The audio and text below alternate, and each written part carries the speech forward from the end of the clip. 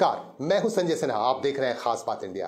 कहते हैं, इरादा कत्ल का था तो मेरा सर कलम कर देते। इरादा कत्ल का था तो मेरा सर कलम कर देते। क्यों इश्क में डालकर मेरी हर सांस पर तूने मौत लिख दी। आइए इस शेर के साथ हम शुरू करते हैं खबरों का सिलसिला। सबसे महत्वपूर्ण खबर आज पश्चिम बंगाल से। पश्चिम बंगाल के जलपाईगुड़ी ज़िले से एक महत्वपूर्ण खबर आ रही है। जलपाईगुड़ी ज़िले के राजगंज प्रखंड के फूलबाड़ी में मुख्यमंत्री ममता बनर्जी ने नई परियोजना का शुभारंभ किया। पथश्री के नाम से नई परियोजना का उद्घाटन मुख्यमंत्री ममता बनर्जी ने फूलबाड़ी में किया और उन्होंने कहा कि पश्चिम बंगाल की जो भी सड़कें हैं, जो भी बदहाल हाल में सड़कें हैं, उन सड़कों को सुधारने के लिए इस परियोजना का शुभारंभ किया जा रहा है। आपको बता दें कि इस परियोजना के माध्यम से बारह हज़ार किलोमीटर सड़कों के मरम्मत का काम किया जाएगा। आप इन तस्वीरों में देख सकते हैं स्क्रीन पर कि ममता बनर्जी, जो मुख्यमंत्री हैं पश्चिम बंगाल की, उन्होंने पथश्री के नाम से इस परियोजना का शुभारंभ किया, इस परियोजना का उद्घाटन किया और इस मौके पर उन्होंने उन लोगों को भी बधाई दी जिन्होंने कोरोना काल में राज्य के लिए प्रदेश के लिए समर्पित भाव से काम किया है। और आपको लिए चलेंगे पश्चिम बंगाल के रानीगंज में रानीगंज के रोटी बाटी कोलियरी में एक कार्यक्रम का आयोजन किया गया। और इस कार्यक्रम के दौरान मुख्यमंत्री के उद्घाटन समारोह को वर्चुअली दिखाया भी गया। और इस कार्यक्रम के दौरान आज यहाँ सड़क निर्माण का काम भी शुरू किया गया। आप देखिए स्क्रीन पर, इस मौके पर खास तौर से मौजूद थे पश्चिम बर्धमान ज़िले के जिलाधिकारी पूर्णेंदु माझी और आसनसोल दुर्गापुर पुलिस के पुलिस आयुक्त सुकेश कुमार जैन और और एसीपी तथागत पांडे खास मेहमान के तौर पर यहाँ मौजूद थे और इस दौरान यहाँ वर्चुअली ममता बनर्जी के उद्घाटन समारोह को दिखाया गया यहाँ के लोगों को और स्क्रीन पर सभी ने देखा कि ममता बनर्जी ने इस परियोजना का शुभारंभ किया और इसी क्रम में यहाँ सड़क निर्माण का काम भी शुरू हो गया और यहाँ कुआडी से रोटी बाटी तक सड़क सड़क मरम्मत का काम होगा जिसमें बावन लाख रुपए का खर्च आएगा। ऐसा कहा है डीएम पुणेंदु माजी ने। डीएम पुणेंदु जी ने संवाददाताओं से बातचीत के क्रम में बताया कि दो सौ चौहत्तर सड़कों का निर्माण पश्चिम बर्धमान ज़िले में किया जाएगा और दो सौ चौहत्तर जो सड़कें हैं जो बदहाल स्थिति में हैं जिनका हाल बहुत बुरा है उसके मरम्मत का काम किया जाएगा। और 2021 तक इन तमाम जो है सड़कों के मरम्मत का काम कंप्लीट कर लिया जाएगा पूरा कर लिया जाएगा। आइए देखते हैं आ, क्या कहा पूर्ण पूर्णेंदु माजी ने जो जिलाधिकारी हैं डिस्ट्रिक्ट मैजिस्ट्रेट हैं पश्चिम बर्धमान ज़िले के। যেভাবে কাজ করে চলেছেন তার কাছে প্রক্রিয়া। আমরা দেখুন রেশন ব্যবস্থার মাধ্যমে প্রতি মাসে সবাইকে বিনামূল্যে রেশন দেওয়া চলছে আমরা প্রতিটি স্কুলের ছেলে মেয়েদের, তাদের মিড ডে মিল আইসিডিএস বাচ্চাদের তাদের বাড়ি বাড়ি খাওয়ার পরিবেশন করা হচ্ছে। এবং যত পেনশন যারা পান, আমি আপনাদের মাধ্যমে আহ্বান জানাই, আমাদের জেলা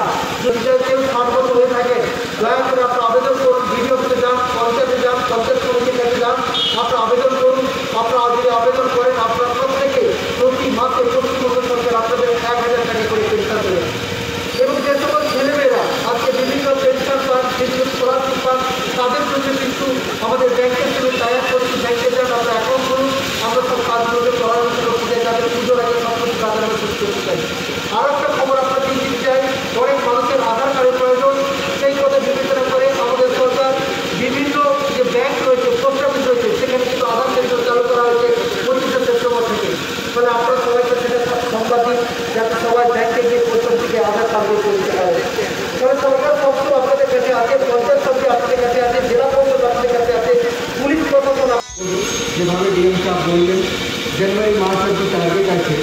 आगामी तीन चार मास मध्य मध्य, बारह हज़ार रास्ता, बारह हज़ार किलो गाड़ी परिष्कार हो प्रति अनेक अनेक धन्यवाद जाना आशा करी रास्ता तो जो संस्कार तो हो ग्रामे लोक अनेक सुख सुविधा पा ग्रामीण बच्चारा, स्कूल जैसे, एंबुलेंस की ज़रूरत। है और अन्य जगह तो एक्टिविटी करते गले अनेक सुख सुविधा पा अपने सबके नमस्कार जानिए। हमारे बक्त्य शिक्षक और हमारे पास खबर आ रही है उत्तर प्रदेश के हाथरस से। राहुल गांधी ने आरोप लगाया है उत्तर प्रदेश पुलिस से कि उन्हें रोका गया आगे जाने से। राहुल गांधी पैदल ही हाथरस पीड़िता के घर जा रहे थे जिसकी मौत हो गई है। गैंगरेप के बाद उसके घर जा रहे थे, उसके परिवार वालों से मिलने। इसी बीच यूपी पुलिस ने उन्हें रोका और राहुल गांधी का ये कहना है कि उन पर डंडे बरसाए गए, उनके साथ धक्का मुक्की किया गया और उन्हें गिराने की कोशिश की गई। यूपी पुलिस पर इस तरह का के आरोप राहुल गांधी ने लगाए हैं। और इन तस्वीरों को देखिए आप स्क्रीन पर, इन तस्वीरों को देखकर आप सहज ही अनुमान लगा सकते हैं कि राहुल गांधी को वाकई गिराया गया व या वह खुद गिरे। इस तरह का अनुमान आप देख के लगा सकते हैं। वाकई और राहुल गांधी का दूसरी तरफ़ ये कहना है कि उन्हें यूपी पुलिस ने गिराया और उनके साथ जबरन धक्का मुक्की की गई। आइए आगे बढ़ते हैं। हमारे पास खबर आ रही है पश्चिम बंगाल से। पश्चिम बंगाल में तृणमूल कांग्रेस की सक्रियता बढ़ गई है। चुनाव को देखते हुए इसी दौरान चुरुलिया से हमारे पास खबर आ रही है। चुरुलिया में जामुड़िया ब्लॉक वन, तृणमूल कांग्रेस के ब्लॉक वन की तरफ़ से यहाँ लोगों में तिरपाल बांटे गए, जो ज़रूरतमंद लोग हैं, उनके घर जो है, में बारिश का पानी आ रहा है, जिससे देखते हुए यहाँ तिरपाल बांटे गए। आप देख सकते हैं इन दृश्यों में कि यहाँ ब्लॉक प्रेसिडेंट, ब्लॉक अध्यक्ष साधन राय की तरफ़ से यहाँ तिरपाल बांटे जा रहे हैं। इस संदर्भ में हमने साधन राय से बातचीत भी की और काजी हसीमुल से भी हमने बातचीत की। ये हम लोग का एक्चुअली क्या हुआ ना, सरकार से बहुत तिरपल आया था। उसके बाद भी हम लोग देख रहे बहुत गरीबों का घर में पानी गिर रहा है, पानी चू रहा है। इसीलिए पार्टी से ब्लॉक सभापति का नाते हम एक सिद्धांत लिया। जब पार्टी से हम जाकर के उस गरीबों को माथा, क्योंकि काल भी भारी बर्षण हुआ, कल एक व्यक्ति को वज्राघात में कल तो डेथ हो गया, उसको पोस्टमार्टम करा करके हम लोग उसको घर भिजवाया। तो ये हम लोग का रेगुलर कोर्स का काम है। किसी के घर में अगर पानी चू रहा तो हमारा तरफ़ से पार्टी तृणमूल कांग्रेस का ओर से हम लोग उसको सहायता करने का कोशिश कर रहे हैं। ऐसे हम लगभग अभी तक साढ़े सात सौ आदमी को कर दिया। लेकिन फिर भी इतना बड़ा इलाका है चुरलिया कि ये बहुत कम है। तो सरकार भी दे रहा हम लोग पार्टी से भी दे रहा लेकिन हम लोग इस काम को जल्दी करने की कोशिश कर रहे हैं। इसके अलावा भी इसके अलावा भी और कोई समस्या है? देखिए समस्या तो बहुत है। समस्या का बात ये नहीं है। समस्या का जैसे मेन मेन समस्या था रास्ता घाट ये सब तो कर चुके हैं हम लोग। ड्रेन को भी कर चुके हैं। लेकिन परिस्थिति ये है कि ये कोरोना जो काल चला ये कोरोना काल का लिए बहुत आदमी बेकार बैठ गया। अभी हम लोग का सामने में एमटा कारखाना चालू हो रहा। तो ये जो सिगल कंपनी जो चालू कर रहा हम आशा करते हैं एमटा का जो मालिक होगा जो हम लोग का डब्ल्यू है उन बेकार समस्या को समाधान करने का कोशिश करें। हम भी पार्टी का ओर से उन लोग का दबाव देंगे कि हमारा यहाँ का चुरलिया का जो बेकार नौजवान है उसको जाकर के ज़्यादा संपर्क रखे क्योंकि ये लोग का रोटी रोजी झुके। इसके बाद हम लोग का जो खेती खेती बाड़ी जो हम लोग का जो चल रहा अभी हो रहा वो तो सरकार तरफ़ से सब सहायता दिया गया। अच्छा आपको जाकर के किसान विकास कार्ड बना दिया गया। आपको जॉय जौहर का अंदर में सिविल ट्राइब को हम लोग एक हज़ार रुपये करके साठ साल का ऊपर दिलाने का व्यवस्था कर दिया जॉय बांग्ला का अंदर में शेड्यूल कास्ट को जाकर के एक हज़ार रुपये दिया वार्धक्य भाता, विधवा भाता, ये सब हम लोग दे चुके हैं। रह गया सवाल, समस्या तो एक नहीं है, समस्या हज़ारों है। लेकिन ममता दीदी जिस ढंग से सहायता कर रही है, हमको लगता नहीं है, जो सीपीएम का अमल में पैंतीस साल में जो समस्या था वो समस्या अभी, मैंने हाथ गिना कठो आ गया। तो हम लोग लगे हुए हैं। आप लोग देख रहे हैं कि यहाँ पर कम से कम जाकर का डेढ़ सौ दो सौ आदमी को हम लोग तिरपुल देने का व्यवस्था किया उधर गौड़पड़ा है गौड़पड़ा में भी जाकर के बीस पच्चीस घर है उसको भी जाकर देने का व्यवस्था कर रहे हैं। हम लोग चाहते हैं गरीबी रहे लेकिन शांति में जाकर रात में ये पानी बरस रहा तो कम से कम बाल बच्चा को लेकर के खुशी में रह सके रात का नींद ढंग से हो इसका व्यवस्था पार्टी को व्यवस्था कर अपना नाम अपना नाम? मेरा नाम साधन राय है Jamuria block one Trinamool Congress committee का प्रेसिडेंट है। আজকে প্রোগ্রামটা হচ্ছে আমাদের সাধারণ রায় চৌধুরী, আমাদের ব্লক প্রেসিডেন্ট, মহাশয় মহাশয়, আমাদের প্রত্যেক পাড়াতে পাড়া অভিযান শুরু করেছেন। যাদের যে জল পড়ছে বিছানায়, বাড়িতে থাকার জায়গা নয় তাদের প্রত্যেককে তিরপল বিতরণ করা হচ্ছে প্রতি পাড়াতে। আর তাছাড়াও যাদের অসহায়দের যে যে সমস্যা আছে কারও বাড়ির জন্য দরখাস্ত করা হচ্ছে, এক বছর দু বছর, তিন বছর থেকে বাড়ি হয়নি, পায়খানা, বাথরুম হয়নি, তাদের এই অভিযান শুরু করেছে ব্লক প্রেসিডেন্ট। মোহন খান আমাকে তারপর নিউট সৈত সৈয়দ নিউটন তারপর ছকা মাস্টার সাউদ ভাই আমাদেরকে নিয়ে উনি পাড়া অভিযান শুরু করেছেন আজকে কজনকে দিলেন আজকে মোটামুটি একশো দশ জন আপনার নাম কি হলো আমার নাম হচ্ছে কাজী হাসিকুল ডাকনাম নেওয়া কাজী तृणमूल कांग्रेस की सांसद और फिल्म अभिनेत्री नुसरत जहाँ को जान से मारने की धमकी दी गई है। सोशल मीडिया पर नुसरत जहाँ इन दिनों लंदन में है। लंदन में बांग्ला फ़िल्म की शूटिंग कर रही हैं और इसी दौरान उन्होंने एक वीडियो छोड़ा था महिषासुर मर्दिनी का रूप उन्होंने धरा है इस वीडियो में और इस वीडियो को उन्होंने सोशल मीडिया पर छोड़ा। इसके बाद उन्हें जान से मारने की धमकी दी गई। उन्होंने लंदन में भारतीय उच्चायोग से इसकी शिकायत की है और सुरक्षा की मांग की है तृणमूल कांग्रेस की सांसद और फ़िल्म अभिनेत्री मंत्री नुसरत जहाँ ने मांग की है भारतीय उच्चायोग से। और बहरहाल, अभी तक कोई किसी तरह की कोई प्रतिक्रिया नहीं आई है भारतीय उच्चायोग से, लेकिन फ़िल्म अभिनेत्री ने अपनी सुरक्षा की मांग की है। और इसके साथ हम आपको बता दें कि पश्चिम बंगाल में तृणमूल कांग्रेस में भी गुटबाजी काफ़ी शबाब पर है। इसी बीच हमारे पास एक खबर आ रही है, रानीगंज के रोटी बाटी कोलियरी से यहाँ के रोटी बाटी हिंदी हाई स्कूल के सदस्य और तृणमूल कांग्रेस के एक कार्यकर्ता हैं, धर्मेंद्र चौधरी। धर्मेंद्र चौधरी ने हमारे संवाददाता बिरजी सिलाही अंसारी से बात की और उन्होंने बातचीत के क्रम में बताया कि रानीगंज ग्राम पंचायत के जो सभापति हैं, विनोद नोनिया, उन्होंने उनके साथ मारपीट की और उन, उनके साथ गाली गलौज भी किए गए। ऐसा आरोप है। धर्मेंद्र कुमार चौधरी का। आइए सुनते हैं कि धर्मेंद्र कुमार चौधरी का किस तरह का आरोप है रानीगंज ग्राम पंचायत के प्रधान विनोद नोनिया पर। बताइए आपकी क्या समस्या है? मेरी समस्या यही है कि मैं रोज की तरह डेली दुकान खोलने आता हूँ साढ़े नौ बजे दस बजे। साढ़े नौ बजे मैं जैसे ही दुकान खोलने के लिए आया दुकान खोला मैं। बाहर विनोद नोनिया उसके साथ में बीस पच्चीस आदमी और था साथ में। वो गाला एक गाली देना शुरू कर दिया। एकाएक हमको पता नहीं किस लिए गाली दिया वो पहले। वो गाली देना शुरू कर दिया हमको। विनोद दनिया यहाँ यहाँ पे किस पोस्ट पे और किस पार्टी से है? विनोद दनिया भी तृणमूल का ही है और वो रानीगंज पंचायत समिति का सभापति है। तो और वो गाली देना शुरू किया। तब उसका प्रतिवाद हम किए हम पूछे हम कि गाली क्यों दे रहा हो? वहाँ पर और भी जितने आदमी थे, सबके सामने हमने बोला कि मुझको गाली क्यों दे रहा है? वो सीधा बोला, गाली देगा, तुम क्या करेगा? तुम एक घर है, तुमको हम यहाँ से उठा करके बिहार भेज देगा। तुम एक घर है, तुम क्या करेगा? तुमको कभी भी हम फंसा देगा, तुमको। उसके बाद हम प्रतिवाद किए तो आ करके वो मेरा कालर पकड़ा, कालर पकड़ के दुकान से बाहर निकाला। उसके पास में सामान भी था, यहाँ रखा हुआ हथियार था, एक पिस्टल। वो भी उसका भी भय देखा उसको देख करके हम भय हो गया भयभीत हो गया। वो बाहर निकाला हमको बाहर निकाल के तीन चार फेंक दिया और उसके साथ में और आदमी था वो लोग सब हमको पकड़ लिया। पकड़ करके वो चार पाँच फेंट हमको मारा उसके बाद आदमी वहाँ पर बीच बचाव कुछ किया तो उस समय हम वहाँ से निकल करके भाग गए। वहाँ से निकल करके हम हट गए। आप तो बहुत पुराना नेता है फिर भी आपके साथ ऐसा क्यों हुआ आखिर मैं ग्यारह होगा। मैं सीपीएम के टाइम से ही रोटीवाड़ी हिंदी हाई स्कूल का पंचायत रोटीवाड़ी हिंदी हाई स्कूल का मेंबर रहा हूँ मैनेजिंग कमेटी का।